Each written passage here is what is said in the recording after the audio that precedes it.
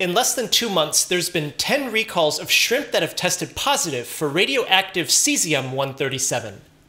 We have a better idea now of why it happened. The shrimp came from one company in Indonesia. Two miles from the shrimp facility is a steel plant. It's here where they smelted scrap metal to manufacture steel. The problem is that scrap was contaminated with radioactive cesium 137. The radioactive dust from the smelting created a cesium 137 plume all over the entire island, settling onto a shrimp processing facility not even two miles away. How did that scrap get cesium? In 1987 Brazil, 50 people were exposed to a scavenged medical radiation source of cesium-137. This was a radiation machine typically used for cancer, and this was started by two guys who were looking for scrap metal. So a salvaged hospital radiation machine likely got turned into scrap metal and somehow ended up in Indonesia near a shrimp processing facility and onto Walmart shelves in America. No one's been known to have eaten the radioactive shrimp yet. They did a good job of trying to get the word out. But what happens if you do?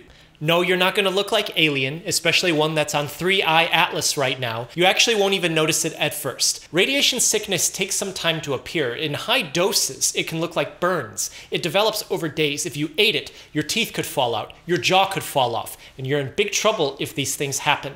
There's nothing that you can do about it. But the shrimp didn't have enough cesium to do that. What it would do is damage your DNA. That'll increase your risk of cancer, and it'll be something that will happen months to years later, so you might not even even know that it was happening at all. We're not out of the woods yet, so please keep your eye out on the frozen shrimp.